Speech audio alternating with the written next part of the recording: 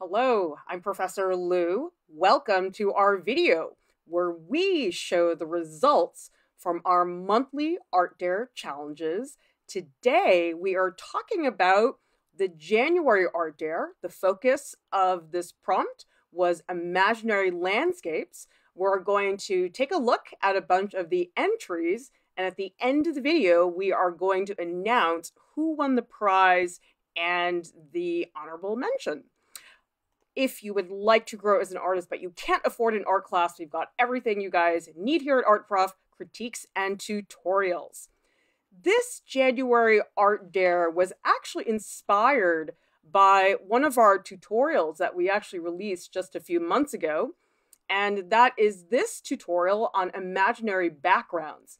Julie Benbassat and Cat Huang, who are in this tutorial, they demonstrate how to use all different types of image references to create an imaginary environment using ballpoint pen and watercolor. So take a look at that tutorial because I think it's really, really cool.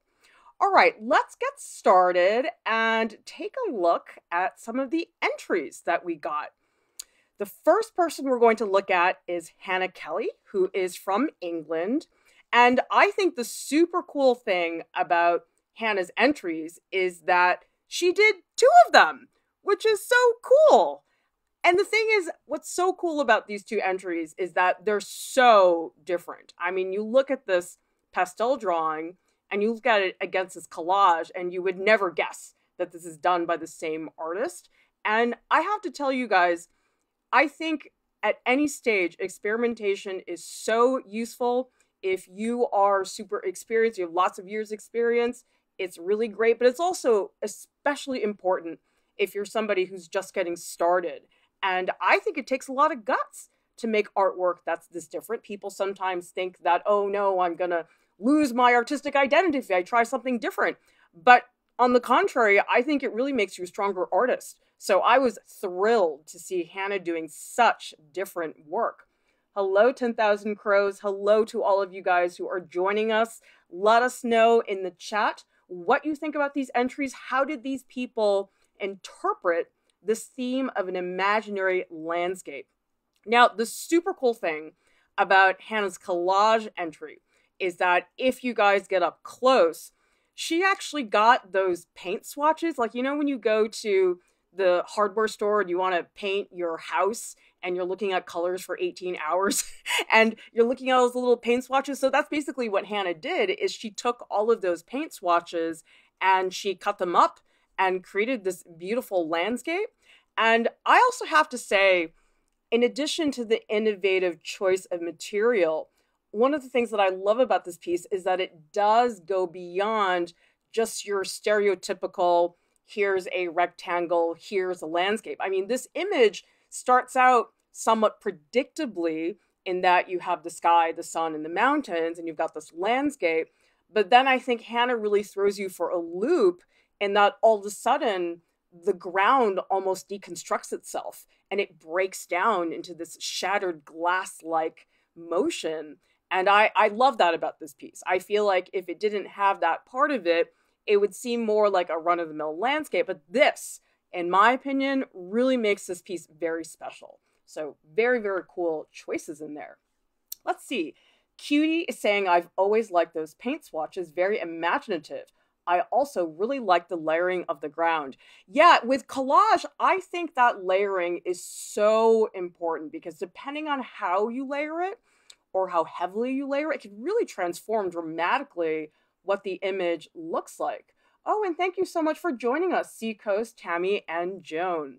Okay, so I also want to say just a few things about Hannah's um, pastel piece, because what's really cool about this is that it's not just a pastel drawing, it's sanded paper with acrylic paint and texture and modeling gel. So there's all kinds of materials that are being blended into the surface. And it just makes me really sad that I don't get to see this drawing in person because I'm sure there's so many subtleties in the texture that I'm totally not getting an opportunity to see right now. But Hannah, kudos to you for trying so many different things because Hannah actually writes in her statement, which you can see on our main site. I'll send you guys that link later on, that these are all materials that Hannah has never used before.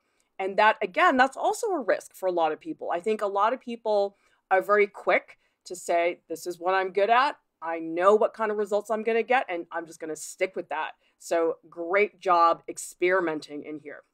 Okay, up next, we have Joan Savitt from the US. And Joan, since you're watching, I'd love to hear you talk a little bit about your piece because your piece, I think, not only is it really unusual in terms of the type of landscape you chose to portray, but that there actually is a lot of story behind this piece. So Joan wrote in her statement that this is going back to her Rust Belt roots and that this is an image which shows the split between people who are economically very comfortable versus people who are really hurting in terms of job loss in the manufacturing sector. So if you guys look at the image, you have these broken windows, which represents the job loss in the manufacturing sector. And then we have this more economically comfortable scene in the foreground with the nice furniture and everything. And it's a really strange image. I mean, it's not an image that you can figure out right away. And I do find that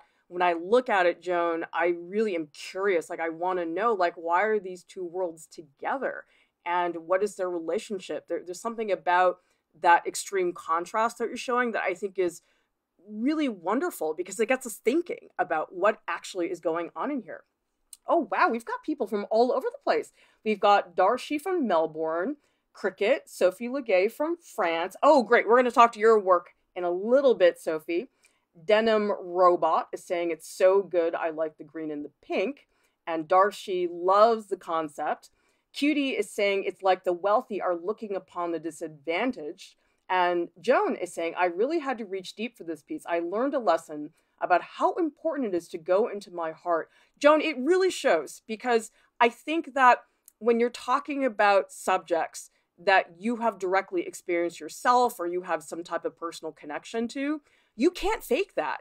People really can sense that connection. So even if there are certain parts of the piece that maybe are less straightforward, it's like nobody can deny you that authenticity in terms of your personal connection. And I would say, Joan, if this is a theme that you're interested in pursuing, this is the tip of the iceberg. I mean, I could imagine, Joan, you could do a whole series of pieces based on this. I mean, there must be so much that you could dig into and explore. You can try all different types of materials. I just think you have a really wonderful subject matter here that could really carry you for a long way. And I, I, think you're just getting started. And that's very exciting. I feel like this is almost a primordial soup for a series of pieces that you can do.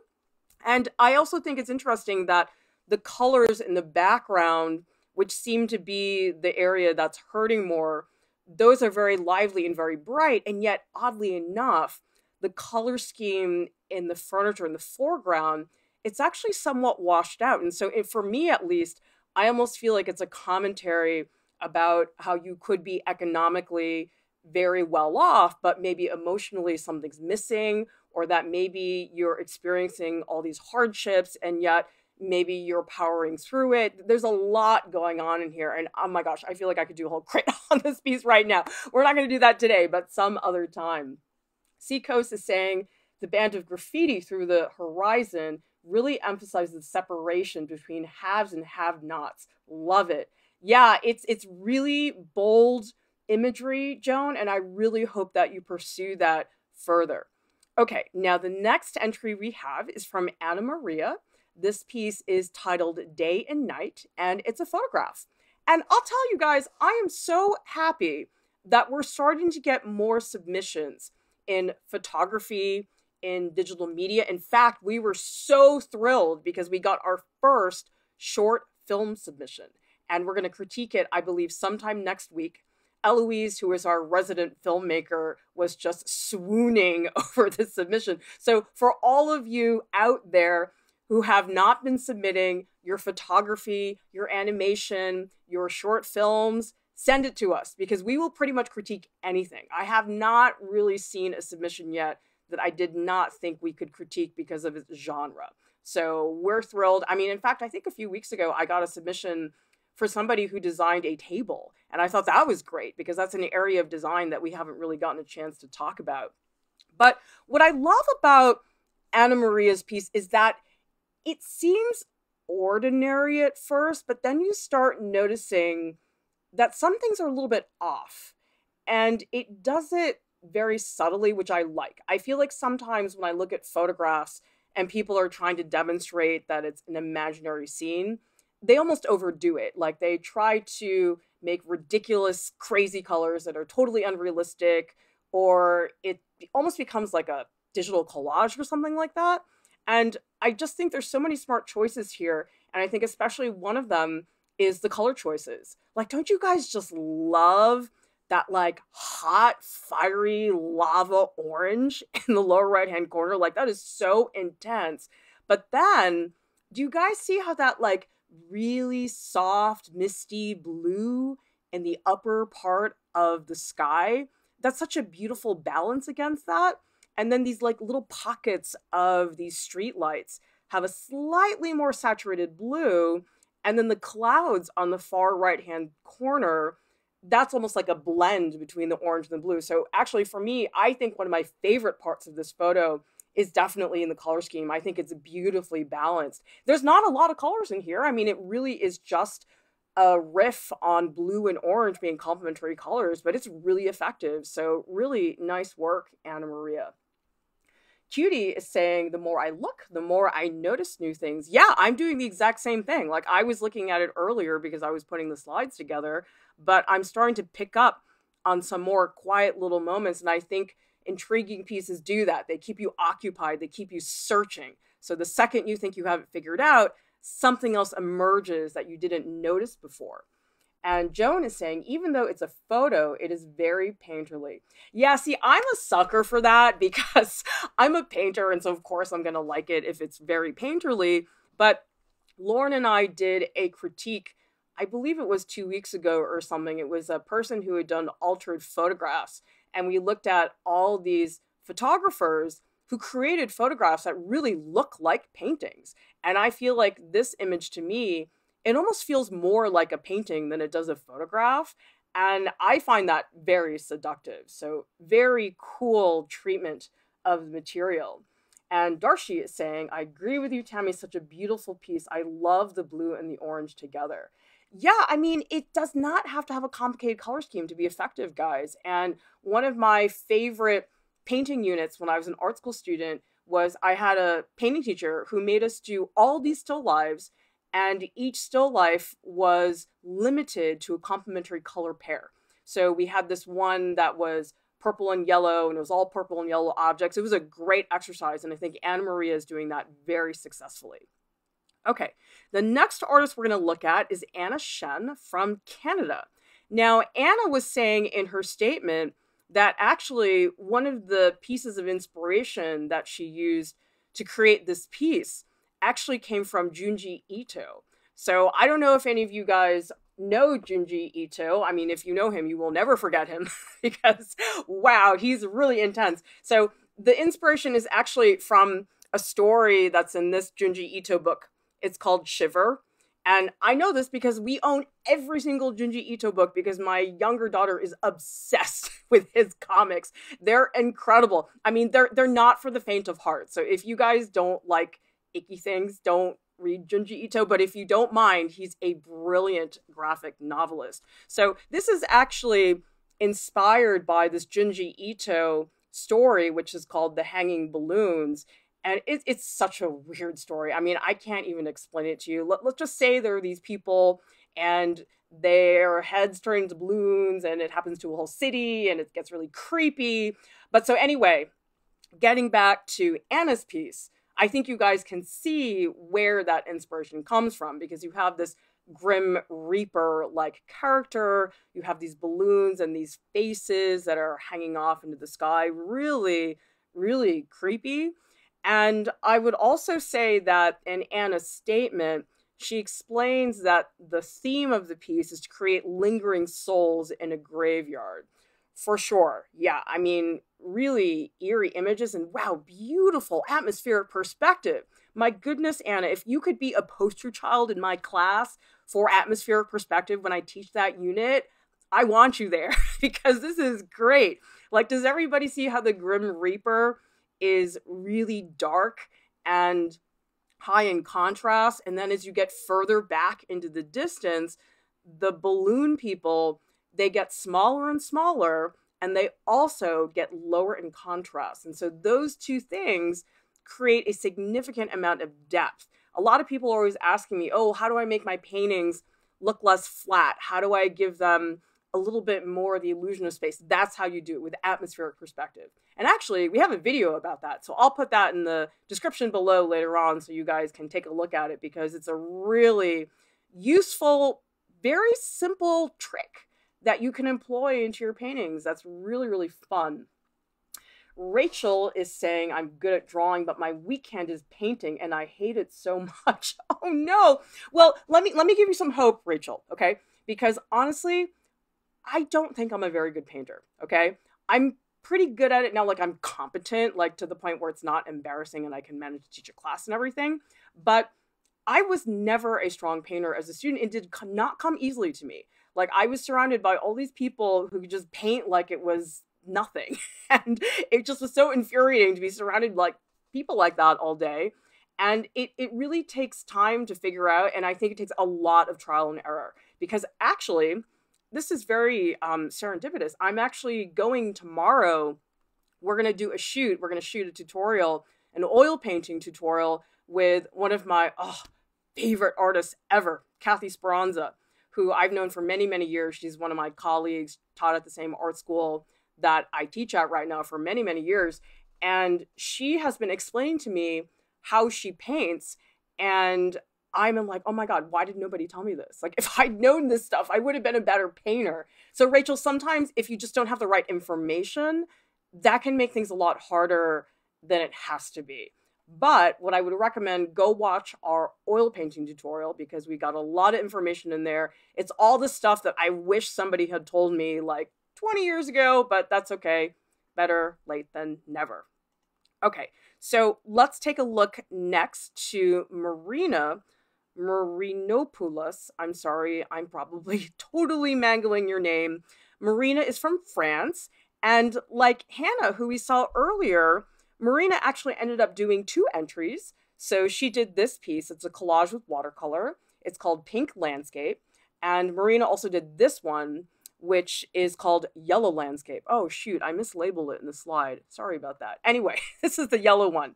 But what's really fun about these two collages is that they really belong together. I mean, they look very much related, they're like cousins, but they're also different enough that I don't feel like I've seen them both once I've only seen one.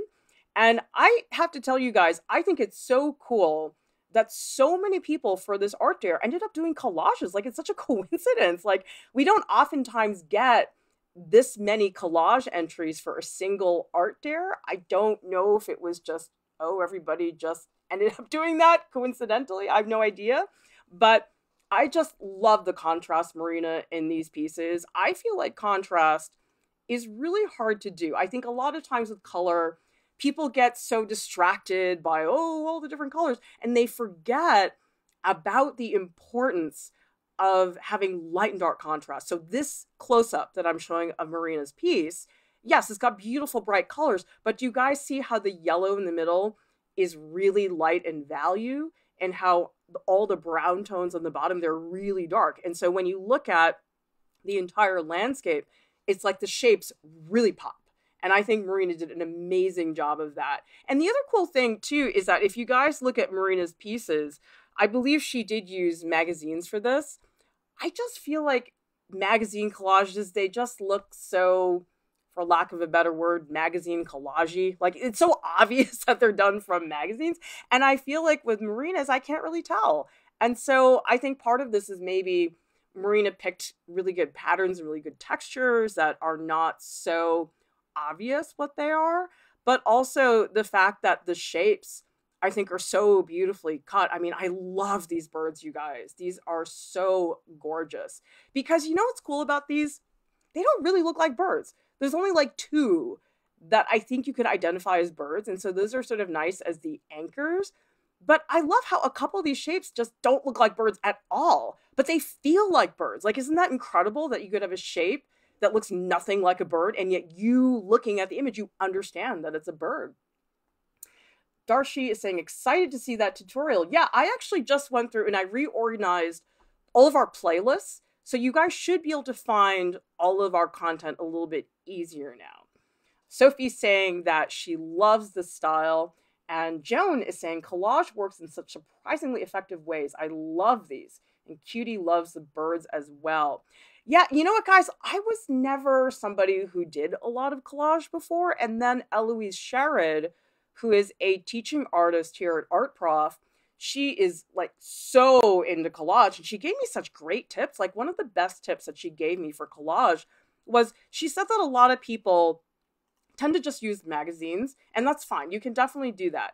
But she said that when she goes to a museum, she picks up all the brochures because they're everywhere. like when you go to a museum, there's a brochure in like every single gallery. And if you just pick a bunch of them up, they're really nicely produced brochures. They have art images on them.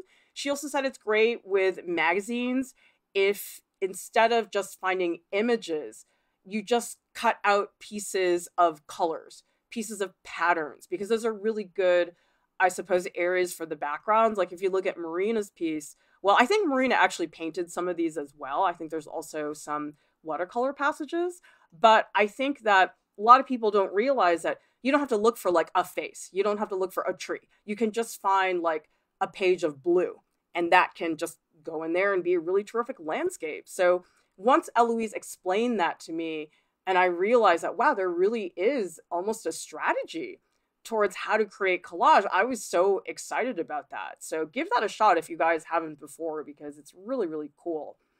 Let's see. Seacoast is saying the lower grouping of birds looks oddly like a face. I'm going to pull that up, see if I can find that. Oh, that is really cool. Wow. Well, a lot of people see faces in a lot of things. So, anyway. Oh, another thing you guys can do for collage, which is super cool, and Marina did this as well, is instead of just doing magazine collages, you can just get sheets of paper and you just paint them whatever colors and patterns and that becomes your collage. So this is actually a project idea on artprof.org that Lauren Welch wrote and she shows this very specific technique for how to do it. Guess what? It works because I did this technique with some of my high school students last year and they made these beautiful self-portraits. Like the colors were just oh my god it was amazing so this is a really really fun technique and it's great because you don't have to look for magazines like you just make the colors and you make the patterns that you want and it's gorgeous so check that out if you guys have a chance okay next artist we're going to look at is robert henke sorry if i mispronounced your name robert is from germany and you can see that it's a more lively, more um, painterly process, obviously, because it's acrylic painting on canvas. But what I really like about Robert's piece is that there's so many areas of this painting where I feel like I'm starting to be able to recognize something, but then the second I think I can, it's like Robert just yanks it out of my hands. And so I almost feel like this painting, it's playing tricks on me. And yet it has a lot of motion it's got a wonderful sense of space. And I do feel like it's moving. Like, don't you guys feel like the brushstrokes are climbing up the walls of this canvas or something? I don't know. There's a really beautiful sense of movement to it. And I do think there's a really nice balance of saturated colors because you have this like sort of palish yellow ochre tone in the background, and that's sort of a nice base. But then that allows, I think, these like cadmium lemons that are starting to leap out. Those are really beautiful. And I actually like some of these passages where it's like these little tiny pattern speckled dots. Those add somewhat of a decorative element to these pieces, which I think is really quite lovely. I mean, again, this is another piece I really wish I could see it in person because I suspect that there's probably some gorgeous brushwork in there that I just am not getting to see. Honestly, I love being able to communicate with all of you guys on the internet, but the one thing that drives me just crazy is not getting to see the artwork in person because that's such a wonderful experience. And that's the one thing about a brick and mortar classroom that you just cannot get online. So it, it bums me out because I feel like I'm like missing half of the artwork by not being able to really take a look at that. Okay, so let's take a look at some of the details. And I think here you guys can see the layering of the colors. It's just very, very luscious. And I almost feel like I'm seeing, I don't know, little faces. Like I almost feel like there's these little like chimpanzees down there at the bottom. But I also think that there are other areas where it just loosens up and dissolves into this massive shapes and movement, which I think is also very exciting. Let's see. Denim Robot is saying, I feel like I could see so many different things in this artwork. Yeah, I mean, part of me thinks, am I looking at a baboon? Like, I totally see a baboon on the far left middle. I almost feel like there's an antelope in the center. But the thing is, I think Robert does a nice job of not giving us too much information because the thing is, you can give people so much information that they actually get annoyed when they can't figure out what it is, but I don't feel that way. When I look at this painting, I feel like I appreciate the moments and I get excited about them, but I'm not frustrated that I can't figure it out. And I think that's the balance to try to get. Oh, Nick Utri is saying a little like Marc Chagall. Yeah, Marc Chagall, I was just thinking this the other day. I feel like he's a little bit underappreciated. Like, I don't know that a lot of people really know that much about his work. Like, I was looking actually at the stained glass windows that he has at the Art Institute of Chicago, and I just was thinking people should know about him more. He's a wonderful painter. So, anyway, if you don't know who Marc Chagall is, look him up later. I will put his name in the video description later on. Okay, next artist we're going to look at is Sophie Legay. I'm sorry if I'm mispronouncing your name. Sophie is from France, and she says in her statement that lately she has been obsessed with circles and that this piece is made with Posca pens. If you guys haven't seen these Posca pens, they're really cool. They're basically like paint markers, and so they're very opaque and they have beautiful, bright, saturated colors. And Sophie explains in the statement, which, by the way, if you guys want to go to this page, it's the January Art Dare page on artprof.org you can see all of the images, you can get all the Instagram links, website links to the artists, you can read their statements. So this is a really nice chance for you guys to go back and reference some of the pieces if there's something you want to take a closer look at. And Sophie talks about how being new to the Posca pen, she had to do some trial and error.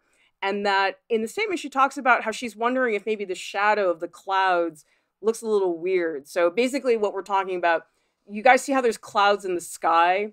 but then you can see the shadow of the clouds on the landscape you it's beautiful i happen to disagree with you sophie and i think they're great in fact i think they're one of my favorite parts of the piece here's why because a lot of this landscape is somewhat familiar in terms of shapes. Like i think a lot of people have seen okay round hills and round clouds.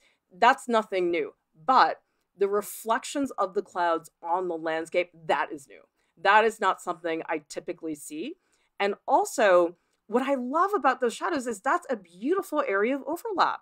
That's an area where we really sense the lighting, which is so unusual because your image is so graphic. It's like it's all very simple, flat shapes. It's like you don't have a lot of shading or rendering or anything like that. And so, in my opinion, Sophie, if anything, I would do more of those clouds shadows. I think those would look beautiful. I think the one that's in the front, like the really big one at the bottom in the middle that's like dark green, that's the one that I really like a lot because that one cloud has so many different colors in it. It's like a little blue, a little green, a little gray. That's a beautiful combination of colors. I would say the one in the back, which is like on the top of the mountains, maybe if that one had a little more color variation, I could get behind it more but I would keep it. I really, really like those shadow clouds. Tell me, you guys, if you like those, because I was struck by them and I think they're fantastic. Let's see. Another thing I would say to Sophie is you had said in your statement that you were thinking maybe that the mountain should be triangular or something like that. I'm going to disagree again. and I'm going to tell you, I love the roundness of everything. And honestly, if you do those triangular mountains, I think it would become very, very generic. And actually, guys, my favorite part of this piece is the house. You know why? because here's the thing like I said, we have seen round hills and mountains and round clouds and stuff like that. And usually you do anticipate, okay, there'll be like a little house or a building in there or something. But you always expect that that house or building is going to be rectangular or it's going to be angled, it's going to be flat. And this house just makes me laugh so hard because it's like bulging. It's like hysterical. Like I love that about this house. Like this house totally fits this landscape. So Sophie, don't change that stuff because the, the two things actually that you said you wanted to change, I think you could fix. You should stick with. I mean, there are other things that I think you could adjust. I'm not going to get into it right now because we'd have to do full up crit for that. But hold on to those two things because I think they really make the piece very unusual. Let's see. Um, MC is saying, I like that I don't instantly know what I was looking at.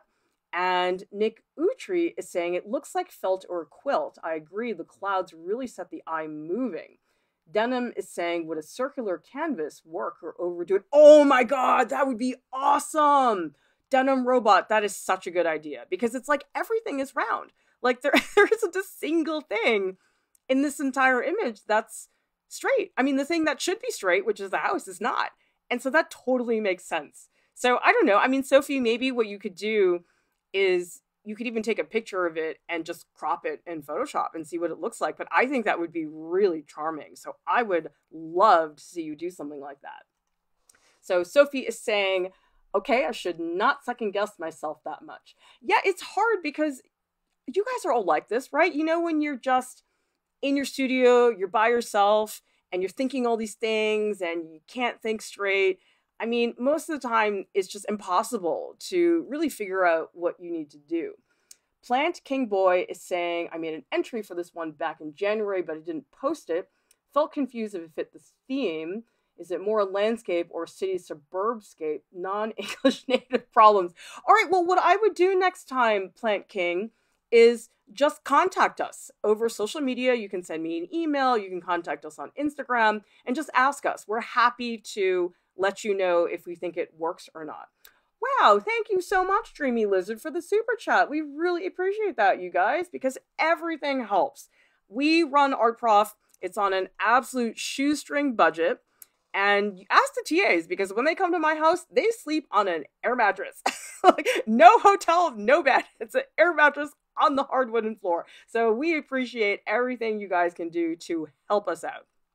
Okay, Seacoast is saying Sophie's work reminds me of the Erté pieces. It's like color blocking meets deco. Oh, that is so cool. And Darshi is saying this could be your personal style, Sophie. You should do more. Yeah, Sophie, my feeling about it is that if you're going to do something, do it all the way. Like if you like circles, just go to town with the circles and see what you can do. And then if it's too much, you can always pull back. So it sounds like people are really into the circles. Try that. I'm really excited to see what you do. Okay, next artist we're going to look at is Claire Lin from the US. And this piece is called Forest of Spirits. It's a digital painting. And Claire talks about in her statement that she's trying to capture a mood. And the mood in this particular piece, she's talking about a fog. So she ends up creating this like ghost like misty fog. And I love the transparency of this piece because I think oftentimes with digital art, I feel like people get really hung up on modeling forms and making things look three dimensional. And that's fine. I mean, that's very important for a lot of different types of images that you want to do. But I just feel like I can see through everything in this image. And the amount of depth that Claire is getting in these areas, I mean, it's beautiful. And there, there's so many like little tiny, subtle, wispy little marks that you don't see at first and then when you notice them, your brain just explodes. And I love the glow. Like we have this big, I guess it's like a fish like creature or something. And I love how that creature leads the light throughout the landscape. And then you have these like smaller versions of it. Again, atmospheric perspective, okay? You've got smaller objects in the background, you have lower contrast in the background. Oh, I'm so proud of you guys. Now, I can't take credit for it because it's not like you're in my class and I like taught you atmospheric perspective, but when I see it, I love it. And I think you did an amazing job with that. Let's see. Tammy's saying these are all incredible. Definitely want to try to enter the ballpoint pen art dare. You should. The ballpoint pen one, I'm so excited about because it's like the most just meager art supply there is. And I will talk to you guys at the very end of the video, but that's the March Art Dare, which is ballpoint pen drawings and just anything in a ballpoint pen. Could be a little doodle that you do during a faculty meeting where you know your brain is just wandering all over the place. I've never done that before, but anyway, um, check that out. And I guess what I really like about Claire's too is I think the color scheme is really smart because it's a limited color scheme, but it feels very diverse. Because I feel like when we were looking at some of the other ones, like Anamaria had the one that was just blue and orange. This one's interesting because it's like mostly blues, but there is variation in there and Claire does, I think, sneak in a little bit of green. And that is actually really working well against the reds in the background because you get that, you know, complementary color, green and red, working off of each other. So, some very, very smart decisions that I think are not super obvious, but then when you discover them, you get super excited about that. Okay, so the next artist we're going to talk about is Sandy Coleman from the US. And Sandy talks in her statement about how she's trying all these new things. Fantastic. I love that so much, you guys. And that what she used for this collage was actually photos from a food magazine. And there's also, I believe, there's some Sharpie marker work going in there as well. And I I love this passage at the bottom, Sandy. Does everybody see this like crumply lettuce. I guess it's a little bit of what linguine down there at the bottom, but it's like those colors really match some of the paint that's happening in the rest of the piece because you can see this is again this is collage with Sharpie and acrylic. And it's like you look at this, you would not really think that there's such three totally different materials, but it's like, don't the colors in the paint really fit the collage? Like they really feel like they're from the exact same universe. And I think that's very hard to do with mixed media. I think with mixed media, people oftentimes underestimate how hard it is to make those areas cohesive so that things aren't too disparate. And I think the the color choices that Sandy added into her pieces, that's what's holding this together. Because if it didn't have that, I could imagine it could feel very fractured and maybe the colors wouldn't work so well together. But this is very congruent. Really nice job with the colors.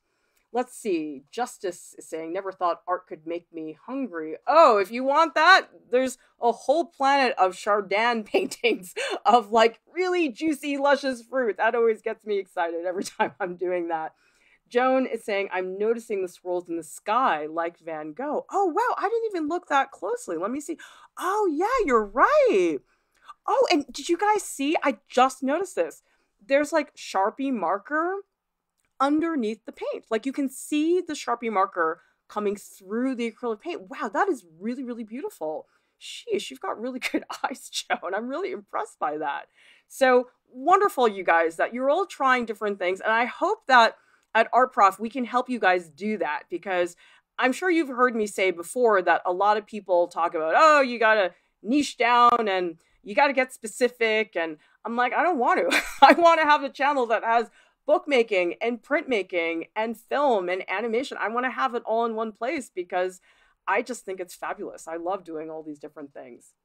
Let's see. Sherry is saying the textures she created go really well with the magazine parts, right? Yeah, like if you look at the textures in the magazines, it's like if you look really close, you can sort of figure out what it is, but it blends beautifully with the paintbrush work. So I think really, really good work there. So if you guys want to go back, you want to look at some of these images, peruse the art statements, check out their Instagrams, go to artprof.org, just tap on art dares, and you will find all that information there. All right, guys, time to announce who won the honorable mention and the prize. And really, you guys, we just do this because it's awesome to get a whole bunch of free art supplies showing up on your desk. But honestly, I think the best part of the art dares, it's really just being in a space with all these other people, everybody given the same thing, and then seeing how different everybody's pieces result in. Because I love that. Like every week I go to my drawing class that I teach on Fridays. I give the students assignment. Next week, everybody shows up and they have their own take on the project. And I think that's fantastic. Darshi saying, please keep the mix. I love discovering different techniques to mine. Oh, great. Yeah, because you know something, actually, you guys probably know that a lot of the teaching artists here, a lot of them were my former students. I also bring my former students who are now kicking my ass in the professional world to do tutorials. And I learned so much from them and it's super fun. So I may not become a book artist, but I love knowing how to do Coptic stitch bookbinding from Eloise. That was just the coolest thing.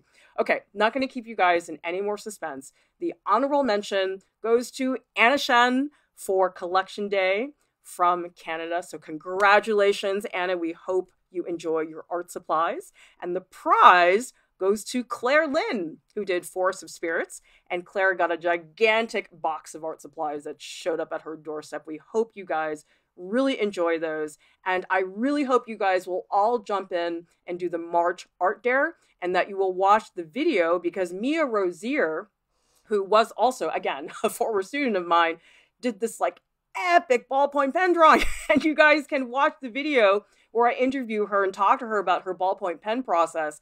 And she gives all sorts of just great tips about working with ballpoint pen that honestly I would never have thought of. So watch that video. We just published it a few days ago, and I would be thrilled to see you guys do this.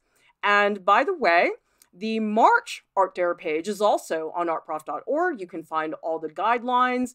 We've got examples on there for you guys to take a look at. So definitely check that out. And if you do decide to do the art dare, which I hope you will, you can submit to us by posting on Instagram. Just use hashtag artprofdare and tag us.